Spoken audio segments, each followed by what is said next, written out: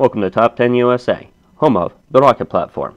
Please follow our replacement procedures and be sure to use appropriate ESD standards and techniques throughout the replacement process. If these procedures are not followed appropriately, damage to your SAN as well as data loss may occur. If your machine is covered under the Rocket Plus subscription and you have any questions or concerns, please open a ticket through the Rocket Platform customer portal.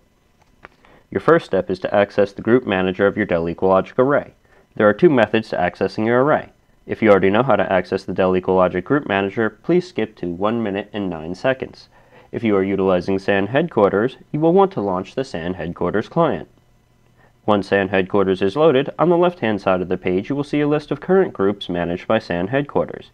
From here you will need to select on a particular group with the current issue.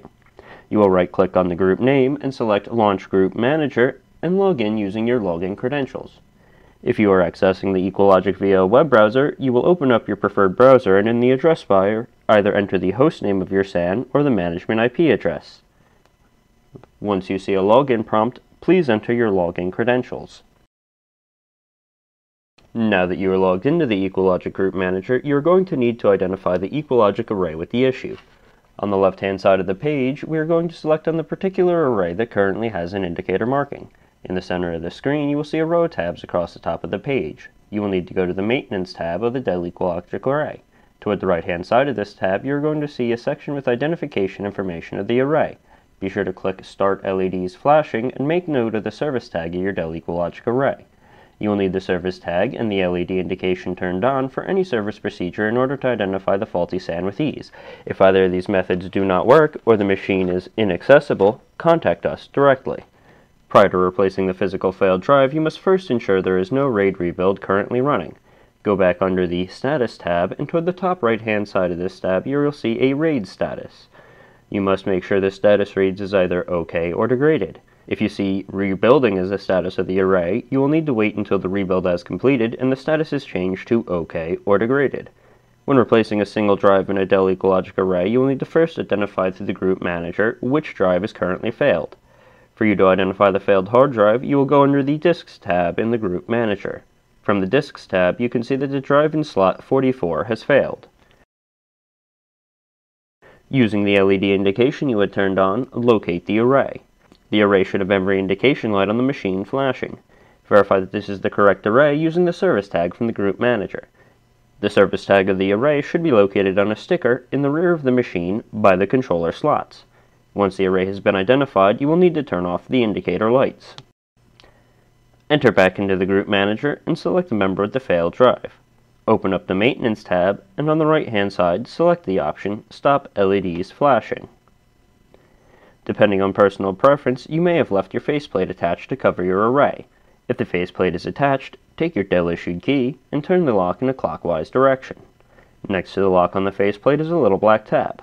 Lift up on the black tab, and the faceplate locking mechanism will release, allowing you to remove the faceplate. Now from the front of the EqualLogic array, you are able to see that the drive in slot 44 has failed. You can verify this by the LED indication that will be showing on the LED screen. Once you can confirm that this is indeed the drive that will need to be replaced, you will need to confirm that the cabling for the array has enough slack for the enclosure to slide forward. Slide the enclosure forward until you can readily access the faulty drive. Once the failed drive becomes readily accessible, you will need to depress on the tab of the drive, releasing the locking mechanism. Once the mechanism has been released, the arm on the drive tray will begin to swing up. Swing the arm all the way out, using a light amount of force. Once the arm is swung completely open, you should be free to pull the drive straight up out of the slot. Now that the failed drive has been removed, wait approximately 10 to 15 seconds. Then you can proceed with inserting the replacement drive. Prior to inserting the replacement drive, depress on the tab of the front of the tray and swing the arm of the tray completely open. Insert the replacement drive, ensuring it is facing the same direction as the other drives. The drive should seat in 90% of the way before the arm of the tray catches in its slot. Once you have the arm of the tray seated in its slot, close the arm and the drive should seat the rest of the way.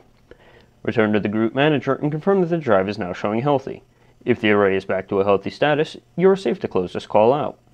If the drive fails to come back online or other issues arise, please contact us directly.